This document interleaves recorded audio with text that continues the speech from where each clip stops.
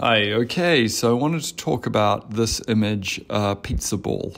So, our series kind of takes trash and uh, rearranges it into really kind of like non organic shapes. It's a um, nod to the work of Andy Goldsworthy, who goes and does this in nature.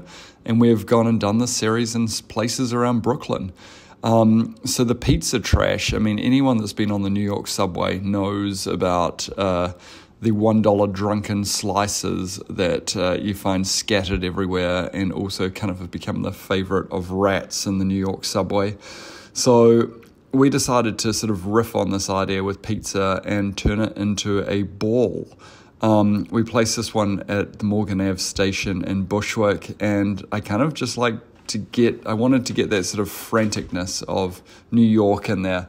So that's why uh, we shot the train in motion and just dragged the shutter speed so it was slightly blurred.